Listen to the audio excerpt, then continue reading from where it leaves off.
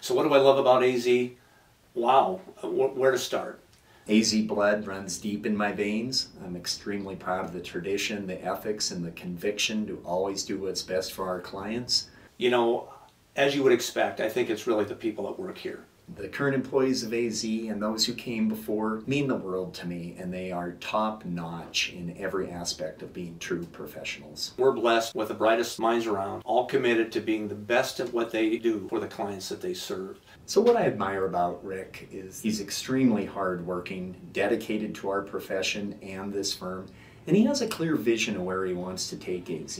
If I had to boil it down to a couple overarching goals that really affect everything we do every day, I'd first start with our rebranding efforts.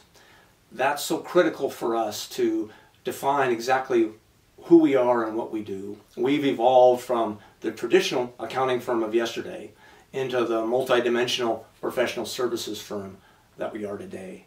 And so we need to continue along that transformational path.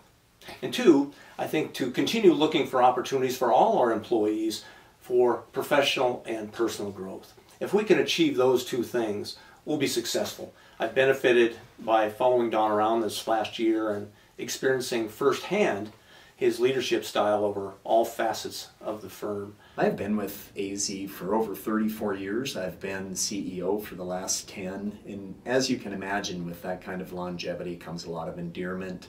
I think I would single out Don's visionary leadership, particularly in the area of technology. I'm confident Rick will do a fantastic job of leading the firm forward. And as the world rapidly changes, Rick will ensure that our firm stays relevant and continues to provide significant value to our clients. You know, Don's been pulling and pushing us for quite some time to be progressive within the profession, and we're the beneficiaries of that now. Why is Rick the best candidate to fill my shoes? Rick has a wide breadth of business acumen and is a national leader in our profession. I've been so fortunate over the years to have been exposed to some really great leaders within the profession. He has a storied history of community involvement and understands that our clients look to us to assist them in achieving their personal and business goals. I've always described myself as a sponge, trying to get as much information as I could. I feel my exposure to those national thought leaders, along with the guidance that Don has provided me over the past year, have put me in a place where I can lead the firm into continued success. I've been married to my wife Shelley for over 37 years. We have two grown daughters, two sons in laws, and four grandsons. I'm looking forward to spending more time with all of them, doing all I can to enrich their lives.